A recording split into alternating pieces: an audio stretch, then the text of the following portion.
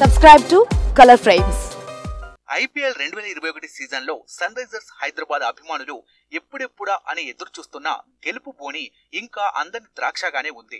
వరుసగా మూడో మ్యాచ్లోనూ ఓటమి పాలైన ఆరెంజ్ ఆర్మీ పాయింట్ల పట్టికలో అట్టడుగున నిలిచింది. ఈ నేపథ్యంలో అసలు సన్ రైజర్స్ హైదరాబాద్ జట్టు వరుసగా ఓడిపోవడానికి గల కారణాలేంటో ఇప్పుడు చూద్దాం. నిజానికి ఐపీఎల్ రెండు వేల ఇరవై ఒకటి మినీ వేలంలో సరైన ఆటగాళ్ళను ఎంచుకోవడంలో సన్ రైజర్స్ యాజమాన్యం పూర్తిగా విఫలమైందని అభిమానులు భావిస్తున్నారు. ఈ వేలంలో ఖర్చు చేయడానికి సన్ రైజర్స్ వద్ద పది పాయింట్ ఏడు ఐదు కోట్ల వరకు ఉండగా వేలంలో కేవలం మూడు పాయింట్ ఎనిమిది సున్నా కోట్లు మాత్రమే ఖర్చు చేసింది.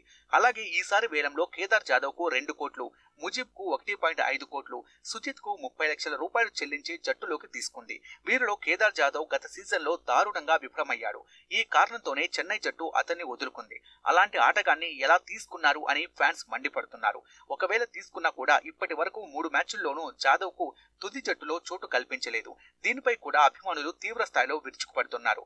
ఇక ఐపీఎల్లో సన్ రైజర్స్ను వేధిస్తున్న అతిపెద్ద సమస్య మిడిల్ ఆర్డర్ వైఫల్యం. అబ్దుల్ సమద్ అభిషేక్ శర్మ విరాట్ విజయ్ శంకర్ మిడిల్ ఆర్డర్లో అంతగా రాణించలేకపోతున్నారు. ఈ నేపథ్యంలో సీనియర్ ఆటగాడు కేన్ విలియమ్సన్ను వెంటనే జట్టులోకి తీసుకోవాలని క్రికెట్ విశ్లేషకులు అభిప్రాయపడుతున్నారు. నిజానికి సన్ రైజర్స్ ఆడిన మూడు మ్యాచ్ల్లో కేన్ విలియమ్సన్ లేకపోవడంపై ఆ జట్టుపై తీవ్రంగా విమర్శలు వచ్చాయి. కేన్ మామ లేని కారణంగానే రెండు మ్యాచ్లో ఓడిపోయామని అభిమానులు సదరు ఫ్రాంచైజీపై గుర్రుగా ఉన్నారు.